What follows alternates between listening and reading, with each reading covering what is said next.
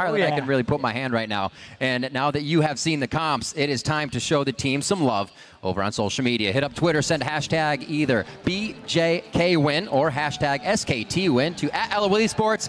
We'll tally up your votes as usual shortly once we get on to because it doesn't actually look like they're denying Marin in the Yeah. slightest. Instead, they're going for a little bit of Whoa. mid lane. Looks like Theokoles and Thaldrun just on the other side, and it's going to be as well. Dumbledoge from the top lane. The hits go in. Oh, 10 points to Dumbledoge. First blood. But Sheik does kills Faker three minutes into the first game of MSI. We'll see if they can get themselves right into the correct position after this one. Just to- quick move to save uh, Nardeus. Yeah, just to finish that thought really quickly, a big reason Besiktas improved so much in the playoffs is Theokoles improving and making really strong early plays. They're rinsing, repeating, and they're going for Nardeus. Oh, he does have to flash. There it is from Bengi. He gets the knock up, the spell shield just a little too late, and spent. Nardeus goes down. Oh! He is able to get a retribution kill for himself on Bengi. To 30 on Marin. Level 3 to level 5. Marin's going to have access to his equalizer. He may even be able to solo Dumbledoge. Ooh, there's a lot of minions there. Dumbledoge taking a bit too much damage. Good exhaust, but it may have just told him he can go even harder since the exhaust wore off, and he's home free. Yeah, it's not over yet. We do see Theokoles and Energy in trouble. Bengi's looking for the knockup. He finds it. He's going to get the Wrath down. They turn to Theokoles, and that's two more kills for SKT. Revenge for SKT after that start. Faker still even in CS after that death, after a second time being pushed out of lane we saw from Energy, so keeping very strong in the middle for SKT as per usual. Ah, Marin does That's the overheat. Up, and we do see Exhaust comes out as well, but Wolf is around. Death Sentence does connect. Nardeus in a little bit of trouble as the Equalizer goes down to split them up. The Lantern pulls Wolf in. Oh, they go right for Dumbledoge. He's gonna go down. Doesn't have anything to use for it anyways, in a great counter hit there by SKT. I really like the way SKT is actually playing around Marin when necessary. Once the Dragon was taken off the map, the objectives change and they're going to help out their carry Rumble. Faker with the blue buff, Energy not with the blue, and that means Faker's gonna be spitting out soldiers everywhere. The glitter lance hopefully giving him the space he needs. Shifting sands will put Faker closer, but he doesn't have that much mana. Energy trying to get away. Energy throws down his ignite. Faker throws down the cleanse. Oh, it's gonna be Faker coming up in the 1v1.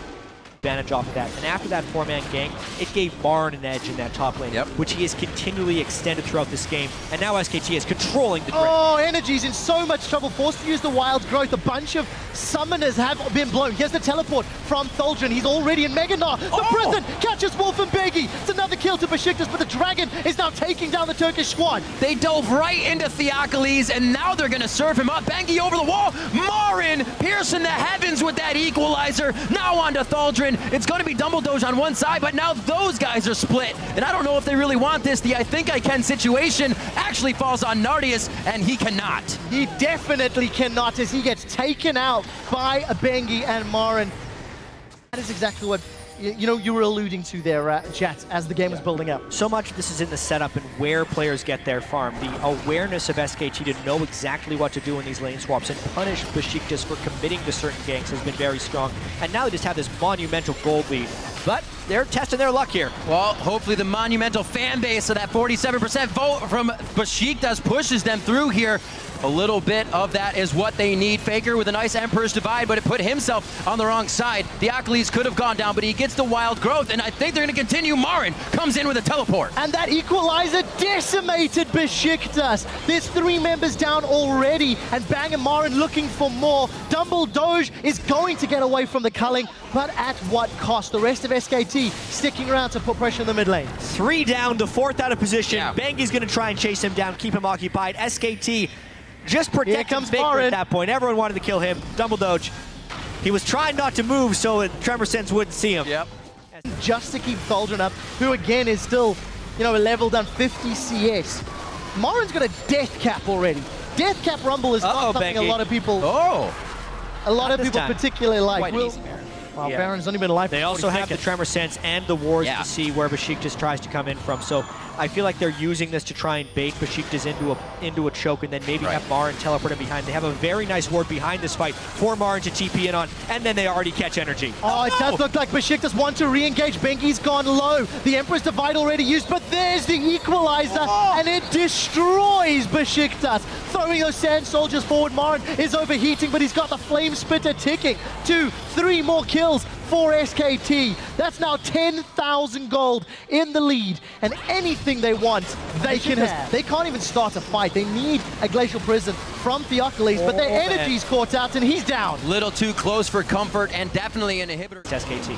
Yeah, the pressure is on. If they were nervous about the fans last time a little bit, they got to be nervous about against this lead of SKT. That last outer tier turret goes down, and they now have their eyes only set on the base. He Emperor divides him Whoa. off the wall. He can't get through the gate. Faker, Faker, playmaker coming up big. And there's a little bit of personal pride on that one after how well Easyhoon Yeah. handled Azir in the LCK finals. SKT decides to peel into the base. There's the equalizer down. SKT setting their sights on the Nexus turrets. What can Besiktas do to stay alive? The equalizer completely zoning Besiktas off any protection of their Nexus turrets. The health bars are falling just as fast for them, and they are putting up one hell of a final fight, trying to get Thaldrun down now. Bang is going to make that final shot. Actually, it's Fakers. They focus on the Nexus, and SKT will take game two over Besiktas at the midseason Invitational. 26 minutes, 25 seconds. SKT gets their first win.